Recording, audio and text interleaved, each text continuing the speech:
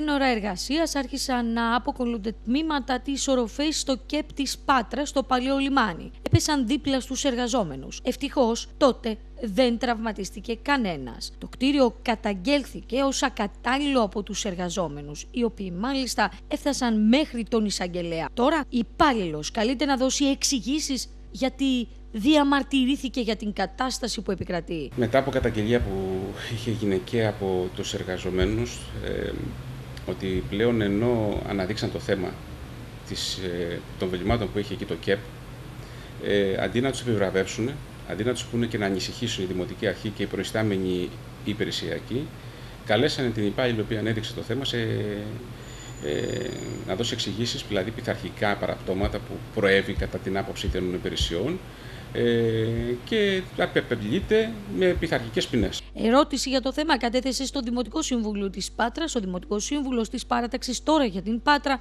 Γιώργος Σιγαλός. Φυσικά δεν πήρα για άλλη μια φορά απάντηση, όπως δεν είχα πάρει και σε προηγούμενα δημοτικά συμβούλια, όταν ρώτησα ποιες είναι οι ενέργειες που θα κάνουν για ένα κτίριο το οποίο δεν έχει άδεια το κτίριο, κτίριο το οποίο έχει πολλά προβλήματα στατικής επάρκειας. Σύμφωνα με τις πληροφορίες, μάλιστα, η εργαζόμενη καλείται να απολογηθεί γιατί μίλησε σε μέσα μαζικής ενημέρωσης για την κατάσταση που επικρατεί στο κτίριο του ΚΕΠ. Από ό,τι μου αναφέραν οι εργαζόμενοι, ναι, ισχύει ότι μέσα στα πειθαρχικά παραπτώματα που τους καταλογίζουν είναι ότι μιλήσανε και στα μέσα ενημέρωσης. Απαγορεύεται βάσει κάποια νομοθεσίας να μιλήσει ο εργαζόμενος στα μέσα ενημέρωση. Όχι, βέβαια, και μάλιστα δεν μίλησε και μέσα στο χώρο εργασίας από ό,τι ξέρω υπάλληλος του Δήμου βγήκαν έξω από το ΚΕΠ και μιλήσαν έξω στους διαδρόμους. Δεν ήταν μέσα στο χώρο εργασίας να πούν ότι ενοχληθήκαν οι δημότες που εξυπηρετούνται. Στο παρελθόν η νυν δημοτική αρχή, αν γινότανε, θα είχε κλείσει σήμερα το Δήμο.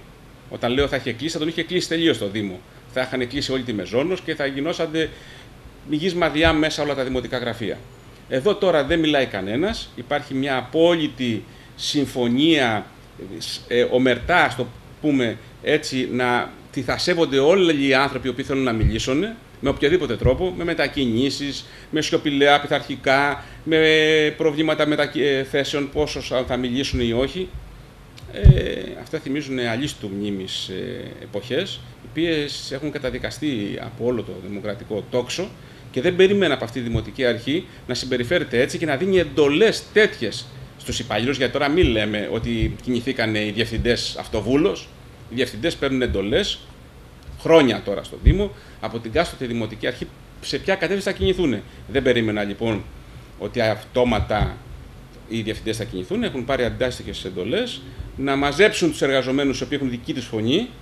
Αλλά μου κάνει εντύπωση, κύριε Παρασκευούλη, μου το λέτε ε, ε, επ' ευκαιρία να πω ότι και το συνδικαλιστικό πλέον όργανο των ε, εργαζομένων στο Δήμο ποιεί την ίσαν τώρα και τρία-τέσσερα χρόνια δεν έχει μιλήσει για τίποτα. Εδώ κατάγγειλα χθες, ας πούμε, σε δεύτερο ερώτημα που έκανα στον κύριο Πελετήρη, ότι οι εργαζόμενοι οχταμινίτε, οι οποίοι έσκυζε τα ηματιά του παλιά να μην πάρουμε, τώρα τους παίρνει συνέχεια, δεν έχουν άρβιλα, δεν έχουν μάσκες, δεν έχουν γάντια, βγαίνουν στην αυτεπιστασία που κάνουν σοβαρά έργα κάθε μέρα χωρίς τα βασικά εργαλεία προφύλαξης και δεν μου απάντησε κανένας τίποτα. Και αυτή η καταγγελία έχει γίνει από εργαζομένους. Δεν είναι ότι εγώ θέλω να κάνω αντιπολίτευση για την αντιπολίτευση από τους ίδιους εργαζομένους οχταμινίδε έγινε.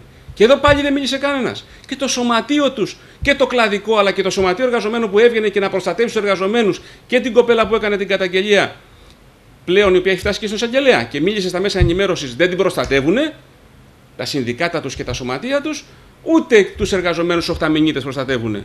Έτσι είναι η δημοκρατία.